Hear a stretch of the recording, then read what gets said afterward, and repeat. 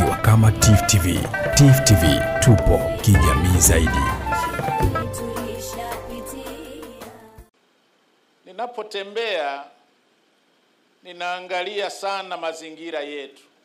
Moja ya dhamana kubwa nilizopewa ni kusimamia uendelevu wa mazingira katika nchi yetu. Sasa kwa mkoa huu kuna uharibifu mkubwa wa misitu na uoto wa asili. Kwa hiyo nataka kuwaomba ndugu zangu wa Tanga, madhara ni makubwa sana. Aidha tunakosa mvua au tukipata mvua tunapata mvua ambazo hazitabiriki au nyingi mno zinatuua, zinaharibu barabara kama ambavyo imeelezwa hapo. Lakini pia kuna athari za magonjwa mbalimbali. Kwa mambo ni makubwa sana. Mnaliona joto lilivyoongezeka. Jana Dar es Salaam ilifikia nyuzi joto 36.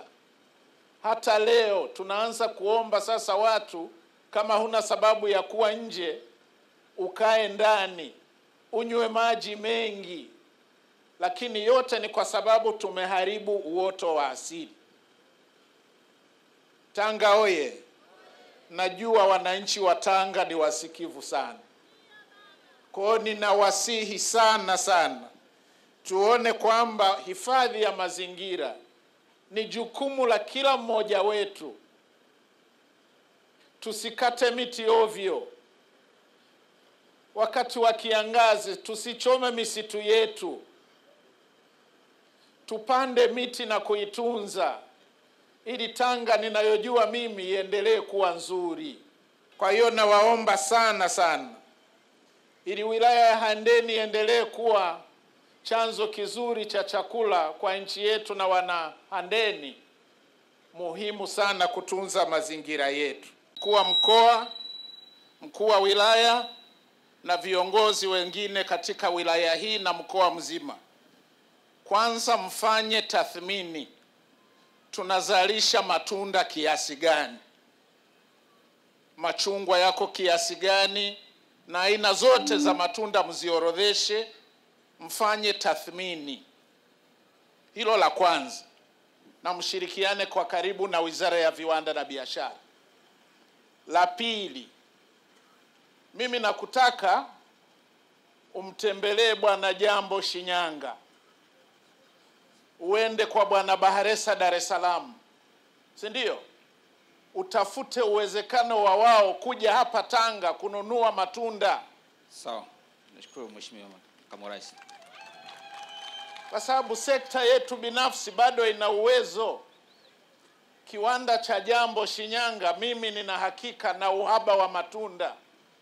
Mimi nadhani hizo ndio hatua za muda mfupi ili kumkomboa mkulima huyu jasho lake lipate manufaa kwa haraka, wakati unaendelea na hiyo michakato mingine.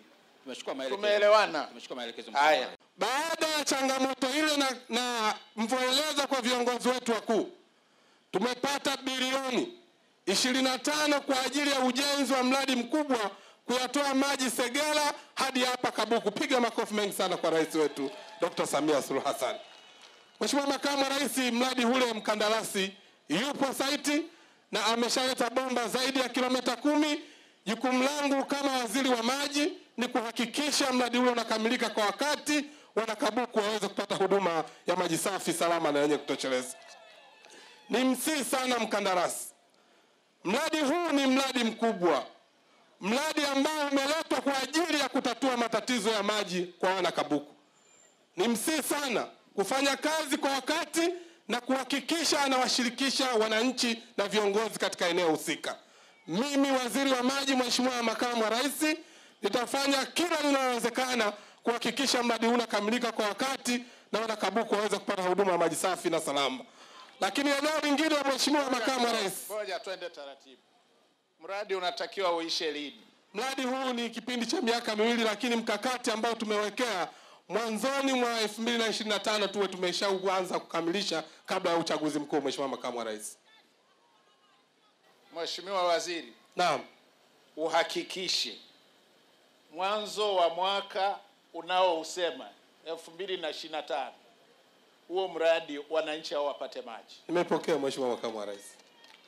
bila kukosea. Sasa nitarudi hapa, sitaki waniambia waniambie hakuna maji, Siwezi kukosa Mheshimiwa. na wewe ni mtoto wa mkoa huu. Kweli Mheshimiwa. Maji oye!